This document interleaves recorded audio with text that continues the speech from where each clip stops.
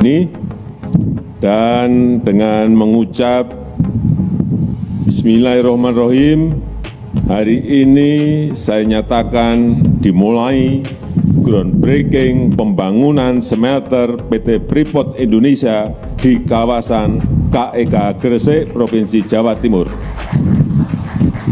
Terima kasih. Wassalamualaikum warahmatullahi wabarakatuh.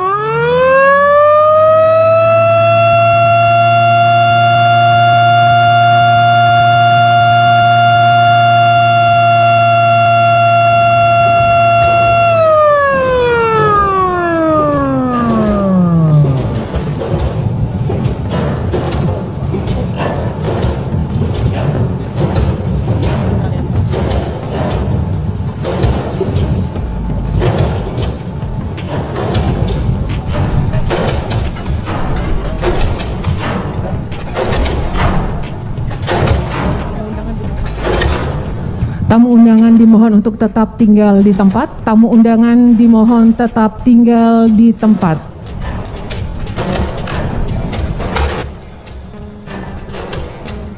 Hadirin yang saya hormati, tadi kita mendapatkan laporan bahwa smelter yang akan dibangun ini dengan desain single line ini terbesar di dunia karena mampu mengolah 1,7 juta ton konsentrat tembaga per tahun. Bapak Ibu bisa bayangkan 1,7 juta ton. Itu kalau dinaikkan truk yang kecil itu itu biasanya bisa ngangkut 3 sampai 4 ton. Nah, berarti berapa truk yang akan berjejer di sini? Kalau 3 ton isinya 3 ton saja satu truk kecil itu itu berarti ada 600 ribu truk berjejer di sini bayangkan ini gede sekali.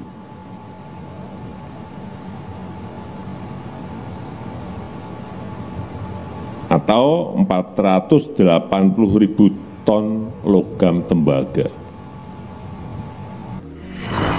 Investasinya 200 juta US.